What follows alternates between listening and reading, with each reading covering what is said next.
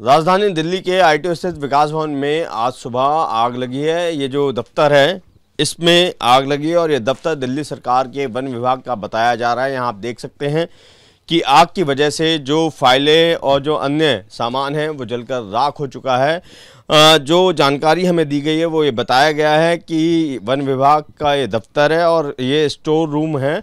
यहाँ पर आग लगी है और इसमें कंप्यूटर और फाइलें आदि थी, जिनको नुकसान पहुँचा है। अच्छी बात यह है कि किसी भी तरीके की जान माल का कोई जो है नुकसान नहीं हुआ है यहाँ पर, क्योंकि आज ईद का पर्व है, छुट्टी है और ऐसे में जो स्टाफ है उसकी भी छुट्टी थी। सुबह आठ बज के पैंतीस मिनट पर फायर विभाग को आग लगने की सूचना मिली है, जिसके बाद फायर की तीन गाड़ियों को मौके पर भेजा गया था। आग का जो कारण है वो अभी स्पष्ट नहीं हो पाया है, लेकिन ये बताया जा रहा है कि शुरुआती जो जानकारी मिली है वो शॉर्ट सर्किट से आग लगने की मिली है। इसके अलावा फायर विभाग और पुलिस अब इस मामले की जाँच कर रहे हैं। यहाँ पर जो जब आग लगी थी तो इसकी जानकारी तमाम स्टाफ को भी दी गई जिसके बाद स्टाफ यहाँ पहुँचा है।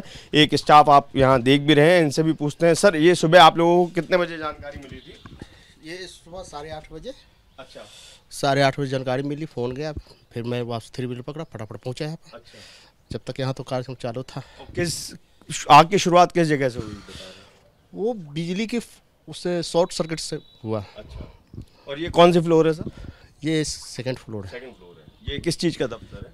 फॉरेस्ट डिपार्टमेंट है। दिल्ली सरकार दिल्ली सरकार के। अच्छा, और ये क्या स्टोर रूम टाइप है? क्या है ये? रिकॉर्ड रूम है इसमें। हाँ। तो ये आप देख सकते हैं कि ये दिल्ली फॉरेस्ट विभाग के जो है स्टाफ हैं, ये बता रहे हैं कि इनको सुबह साढ़े आठ बजे के आसपास जानकारी मिली थी, जिसके बाद ये पहुँचे हैं।